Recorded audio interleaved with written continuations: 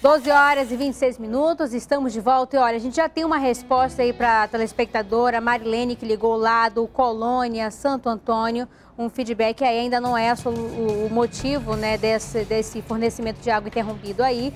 A nossa produção entrou em contato, viu, Marilene, com a Manaus Ambiental. Eles ainda não deram respostas, mas nós perguntamos realmente o motivo desse fornecimento de água interrompido e o que, que deve acontecer. Eles vão, devem mandar uma equipe, devem investigar por aí o que está realmente acontecendo para não para ter esse fornecimento de água interrompido aí que você disse desde as 7 da manhã desde ontem, né? Ontem foi embora, hoje também, embora a água aí, não tá, a população ali não tem o fornecimento de água normalizado hoje ainda. E aí a concessionária deve enviar nota justificando o motivo. Com certeza você deve acompanhar os telejornais aqui da nossa casa, Jornal em Tempo, e com certeza você vai saber o motivo, porque a concessionária já está sabendo desse problema aí no fornecimento de água. Então acompanhe aí os, os, os telejornais e aí você vai saber o motivo, tá certo? Olha só, assim como a Marilene do Colônia Santo Antônio ligou e falou aí da denúncia, que realmente lá está sem água lá na comunidade desde as 7 da manhã, você pode ligar também. E esses dois telefones que aparecem aí na sua tela, o 3307-3951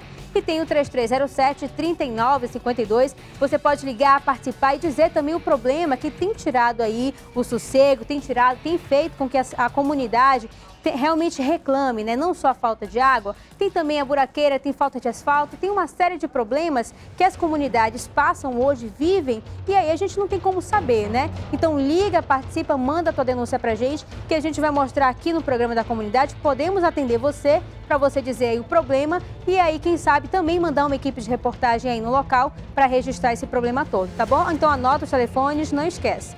Agora a gente vai falar, gente, de um projeto que tem mudado aí a rotina de crianças que vivem em um abrigo. Olha só, as doações que elas recebem são cheias de amor, atenção, carinho, né? Muita gente ali realmente tem feito parte dessas doações e ajudado essas crianças que vivem nesse abrigo. Vamos conhecer essa história aqui na tela da comunidade, agora que são 12 horas e 29 minutinhos, não sai daí, vamos ver.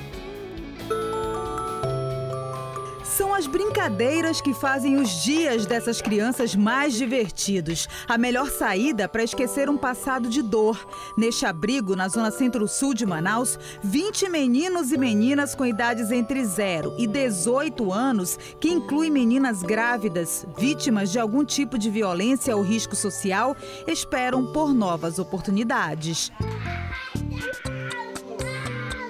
Abrigo vive de doações e todos os meses recebe de voluntários roupas, brinquedos, alimentos, produtos de higiene pessoal. Mas quem vive aqui chama a atenção para um outro tipo de doação, que vai muito além das necessidades físicas. As palavras-chave?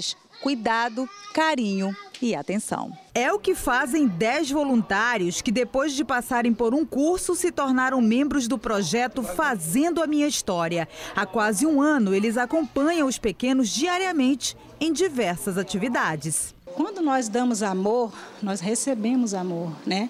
E aquele ditado ele se concretiza na nossa vida, aquele ditado que quem enxuga as lágrimas alheias não tem tempo para chorar. Isso acontece, há uma mudança profunda na nossa vida, né? uma transformação de vida. Nós melhoramos emocionalmente também quando nós dedicamos tempo às crianças. Os trabalhos voluntários fazem muita diferença no desenvolvimento dessas crianças. A menina que era tímida, que tinha medo, e aí acabou através dos desenhos que são feitos no livro, foi ajudando a nossa equipe multidisciplinar a trabalhar melhor com essa criança. E hoje, assim, eu tenho uma criança falante que desenvolve, conta a sua história, fala dos seus medos. Histórias de princesas e super-heróis são as que eles mais gostam. E os pequenos até se espelham nos voluntários. Eu gosto é, quando a tia vem, ela faz o meu abo. Aí a gente, eu aprendo mais o que eu interajo aqui, as coisas, eu conto o que eu quero ser quando eu crescer.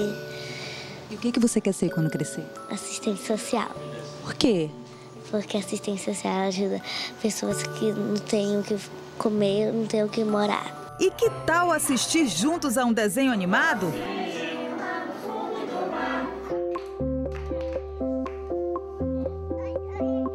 Ah, eles adoram companhia. E quem não gosta? Para essas crianças é uma grande demonstração de afeto. E os voluntários também mudam de vida com esse trabalho. A gente acaba criando um vínculo e a gente acaba percebendo que nós somos tudo para eles, entendeu? Enquanto eles, eles sim, entendeu? Precisam de afeto, de carinho. A gente tem tudo reclama de barriga cheia. Então o rico com eles, pô, é outro rico, cara. Vem pra cá sábado, domingo, entendeu? É outro nível. Eu aprendo muito com eles. Eu mais aprendo que eles, entendeu? Qualquer pessoa com mais de 20 anos de idade, com curso universitário, pode ser voluntário. Aqui só basta dar carinho e amor a quem tanto precisa. Tá certo, qualquer pessoa pode ser voluntária, como vocês viram aí na reportagem, eu acho que vale a pena esse tipo de ação solidária, né? Afinal, ajuda crianças que não têm família, né? E precisa de atenção, de carinho, de amor como qualquer outra. 12 horas e 38 minutinhos, olha só, um novo empreendimento no centro da capital pretende aí ampliar, oferecer vagas de emprego para esse fim de ano. Muita gente, querendo não, ainda está desempregada, né? É, no Educandos ali, é Zona Sul, né, diretor? Zona Sul da capital, deve oferecer vagas né, de emprego para esse fim de ano agora. Nós acompanhamos a inauguração desse empreendimento, a gente vai trazer aqui na tela da comunidade. Vem aqui comigo. Olá Priscila, olha só, é isso mesmo. Tá vendo essa festa toda aqui? É aqui em mais uma unidade do Atacadão, Atacadão Educandos da Zona Sul aqui da capital. A alegria está aqui desde o início da manhã, olha só, a galera já fazendo festa e aqui na entrada os clientes já estão entrando aqui para a inauguração. É mais uma unidade deste grupo que chega na zona sul aqui de Manaus. Alegria não só de funcionários, mas também dos clientes que neste momento estão chegando na loja. Vamos tentar alcançar aqui um dos gerentes aqui da unidade do Atacadão, do Educandos na zona sul de Manaus, Edemar Menezes. Edemar, mais uma unidade do Atacadão, desta vez que chega aqui na zona sul da capital. Sem dúvida, cara. Nós viemos para Educandos, que é um bairro que a gente vê que tem próximo, um bairro que vai... Que nos trazer, né? A gente está proporcionando ao povo de Educandos é, a melhor loja do atacadão do Brasil. Hoje é mais moderna e a gente vem com muito carinho para cá e eu, como gerente, atender esse público maravilhoso aí. Falando sobre o público, eu queria perguntar de você é, qual é o diferencial com relação aos serviços que serão oferecidos para a população aqui da Zona Sul, mas também a população de toda Manaus que pode vir para cá também. Olha, o Atacadão, a todo o Brasil, nós somos um sistema de cash and care. Hoje a gente compra das grandes indústrias, você consegue proporcionar preços, preço ao cliente. Compre em grande volume e tem o preço do atacado e no varejo. Então o diferencial é o atendimento, a estrutura excelente e o preço. Certo. Nós pegamos agora há pouco, Ademar, uma grande fila que se formou ali ali, fora. É, isso significa muita fila que vai ter promoção já nesta inauguração? É, com certeza. A gente é, convidou o público para vir para o Atacadão e a gente agradece quem esteve aqui presente, né? Quem esteve presente, está entrando aqui na loja. É uma satisfação enorme em eles estarem aqui prestigiando a nossa loja. Manaus, como décima entre as dez maiores economias aí do, do Brasil, merecia uma loja desse tamanho. Nós temos outros projetos também para a cidade de Manaus. Né? Essa é a loja número 130 do Atacadão. A gente deve finalizar o ano aí com 134 lojas, ou seja, tem mais quatro lojas iguais a essa para abrir aí no Brasil todo, né? E tem mais projetos para a cidade ainda. Priscila, agora a inauguração, o Atacadão aqui da Zona Sul funciona, vai funcionar né, a partir de hoje, de segunda a segunda, não para, eu volto com você aí no estúdio. Obrigada, Juscelio. Ainda bem que ele tá inteiro, né? Porque no início aí que ele apareceu na tela, coitado, só faltava... Eu esperava que aqui iam tirar a roupa dele. Eu fiquei com medo aqui, muita alegria ali, muita comemoração, mas a verdade... E muita gente na fila também, né? Agora a gente vai, agora essa aquelas pessoas que estavam aguardando lá não é por nada não, era para comprar barato mesmo. Então tá aí mais uma opção, com certeza deve oferecer vagas de emprego. Olha, agora a gente vai falar de mais um caso de polícia que uma quadrilha foi presa, né? É, ela foi presa ali por tentar roubar ali um caixa eletrônico na zona leste da capital. A gente vai trazendo informação sobre isso aqui na tela. Agora antes, eu chamo a tua atenção para você participar pelos nossos telefones, é o 3307 3951 e tem também o 3307 3952. Aí quando você assiste, né, vê o que acontece na capital, você pode registrar a tua denúncia também e já tem alguém na linha. É, é da onde, diretor? Qual é a zona? Tancredo Neves, já tem alguém na linha. Alô, com quem eu falo? Com a Rita. Rita, da onde você é? Tancredo, né? Aqui do Tancredo Neves, do, do lado do Neném Parque. Certo, Rita. E qual que é o problema aí da comunidade? É porque tá com, vai fazer dois meses que falta água. Aí só dava água aqui a partir das três horas da madrugada. Aí agora tá com quatro dias que não dá mais nem um pouquinho de água. Não, água na torneira não tem? Não dá de jeito E como é que vocês fazem para fazer o serviço de casa, para beber água, para dar banho no menino? Como é que vocês têm feito aí? A gente tá comprando garrafões de água lá na grande circular.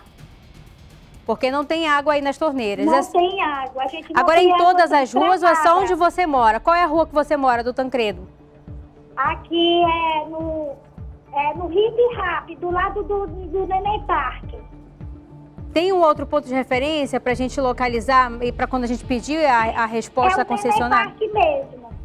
No hip rap aí, né? É no Hip Rap, é. É só aí, é pontual esse problema ou é em todo o bairro, Rita? É em todo o bairro. Em todo o bairro, né? Então, olha só, você vai passar as informações para nossa produção, a gente vai entrar em contato, né? A gente pode até ir ao local, verificar esse problema aí, a empresa deve dar uma resposta do que realmente está acontecendo, tá bom, Rita? Fica aí com a produção.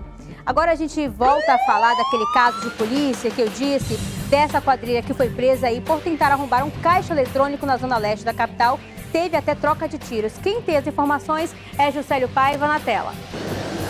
Foi isso mesmo, quatro homens foram presos. Eles tentaram arrombar um caixa eletrônico em um posto de gasolina que fica no Jorge Teixeira 4, na zona leste aqui da capital. A ação ela foi frustrada por policiais militares que chegaram no momento em que o grupo tentava explodir o caixa eletrônico usando uma dinamite. Eles foram trazidos aqui para o 14º Distrito Integrado de Polícia, identificados como Djair Tavares, de 19 anos, Alessandro Lima, de 21 anos, além de Sérgio Henrique Correia e o Luiz Everton. De acordo com o delegado aqui do 14º DIP, o grupo estava também com um extintor e dois revólveres, um de calibre 32 e um de calibre 38. Eles foram presos depois da perseguição e eles estavam neste veículo modelo Fiorino que está com marca de balas durante o tiroteio com policiais militares da 30ª SICOM. A situação é que no momento que eles estavam se preparando para cometer o, o, o, o rombo do, do caixa eletrônico,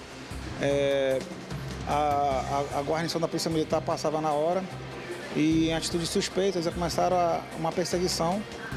A Polícia Militar começou a, a fazer intervenções para que eles parassem, eles não pararam. Né? A Polícia Militar, de forma, de forma diligente, conseguiu fazer com que eles parassem, é, dando um tiro no, no pneu do carro que eles estavam fugindo, que era uma Fiorino. E logo em seguida foi feito o, cerco com eles lá. E, e na hora da, da abordagem foi encontrado dois revólveres, né? E uma mochila com uma, uma dinamite, né? Uma, uma dinamite e um extintor de incêndio, que eles iam usar para poder fazer o estouro do caixa eletrônico do, do posto Atem. O Luiz Henrique, este que aparece com a perna fraturada, era um dos que estava armado e se envolveu no tiroteio com os policiais militares. De acordo com a Polícia Civil, a Fiorino era da empresa que ele trabalhava e ele pegou o carro para tentar praticar o assalto aí com o grupo. É, a dinamite que ia ser utilizada para explodir o caixa eletrônico foi detonada pelo grupamento Marte, como aparece na imagem deste vídeo, aqui mesmo nas dependências do 14º DIP. O grupo vai responder pelos crimes de tentativa de roubo, além de associação criminosa e porte ilegal de arma de uso permitido e restrito. Eles foram encaminhados na manhã de hoje ao Centro de Detenção Provisória Masculino, no quilômetro 8 da BR-174. Eu volto com você ao estúdio. Obrigada, Juscelio. Olha, por falar em agência em caixa eletrônico, nós mostramos aí aquele caso de um- do motorista embriagado que atropelou quatro pessoas. Ele foi identificado, Fabrício Gonçalves, foi preso e lá na delegacia a polícia identificou, né, encontrou lá de que ele já tinha passagem, ele era procurado pela Polícia Federal pelo crime de desvio de dinheiro da Caixa Econômica. Essa imagem aí do Fabrício Gonçalves atropelou quatro pessoas embriagado, uma delas morreu, né, grávida de, três meses. É, na verdade, essa grávida está internada, mas uma dessas quatro da mesma família né, veio a óbito. E aí, lá na delegacia, descobriram que ele era procurado pela Polícia Federal por desvio de dinheiro da Caixa Econômica. É com essas imagens que a gente encerra o programa da comunidade de hoje e amanhã eu te espero no mesmo horário. Até lá!